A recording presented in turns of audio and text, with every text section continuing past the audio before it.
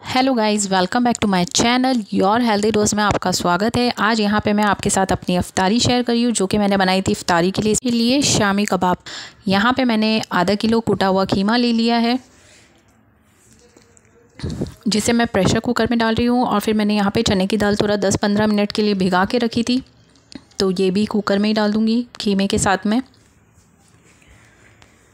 और यानी ये मैंने ली हूँ, खीमे, खीमा लिया है मैंने आधा किलो और इसमें मैंने आधा पाव, यानी पाव किलो का आधा हिस्सा मैंने दाल डाली हूँ चने की।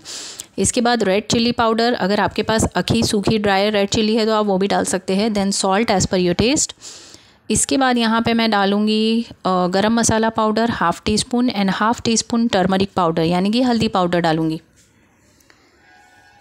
और मसालों में हमें सिर्फ़ डालना है जिंजर और गार्लिक पेस्ट जो कि मैंने वन वन टीस्पून लिया था क्योंकि कबाब बना रहे हम शामी कबाब बन रहा है तो उसके लिए ज़्यादा जिंजर गार्लिक पेस्ट नहीं यूज़ करना है क्योंकि कबाब में फिर अदरक लहसन की बहुत ज़्यादा स्मेल आती है। और हाफ़ टी स्पून मैंने ज़ीरा डाला है उसके बाद जस्ट की हूँ।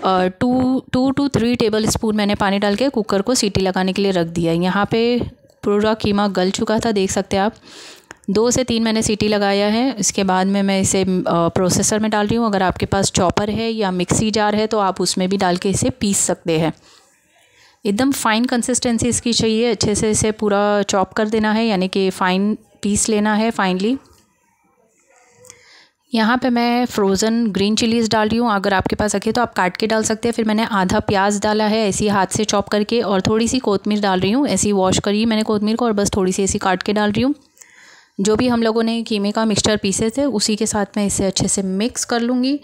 और यहाँ पे मैं इसे अपने ही हाथों से मिक्स कर रही हूँ। हाथ को मैंने धो लिया था पहले से और इसकी छोटी छोटी सी मैंने टिकिया बना ली। आप चाहे तो जो आपको पसंद है, आप ऐसा शेप दे सकते हैं शामी कबाब का बट मुझे गोल ज़्यादा पसंद है तो मैं गोल गोल शेप देती हूँ। इसके बाद यहाँ पे मैंने रोज़े का टाइम हुआ था, उसे पहले थोड़ा सा फ्राई कर ली थी, जो कि मैंने दो अंडा इसके लिए फेंट लिया है। बस इसे अंडे में कोट करके शैलो फ्राई करना है। जो नॉर्मल रोटी का तवा होता है, उसी पे ही मैं इसे फ्राई कर रही हूँ। मीडियम से स्लो आँच पे मैंने इसे कुक किया था, क्योंकि ऑलरेडी खीमा वगैरह सब कुकड है तो हमें ज़्यादा इसे टाइम तक रखने की ज़रूरत नहीं है। बस अंडा कोट करना है, अंडे में डिप करके इसे फ़ौरनली शैलो फ्राई करना है उलट पुलट करते हुए। और मैं फोक की हेल्प से इसे टर्न कर रही हूँ फ्लिप कर रही हूँ। फोक से बहुत इजीली हो जाता है। और इसे मैंने एक पेपर रख दिया था। जो न्यूज़पेपर होता है ना, वो तेल ज़्यादा ऑब्जॉर्ब करता है। तो मैं टिशू वगैरह नहीं प्रीफर करती हूँ गाइज़ अगर आपको चाहिए तो वह ऑप्शनल है, आप टिशू यूज़ कर सकते हैं। बट जो न्यूज़पेपर होता है, मेरे को ऐसा लगता है कि उसमें ज़्यादा तेल अब्जॉर्ब हो जाता है। टिशू पेपर जो है, गल जाता है, चीटी, पूरा वो फटने लगता है। तो टिशू पेपर में इतना तेल नहीं ऑब्जॉर्व होता है।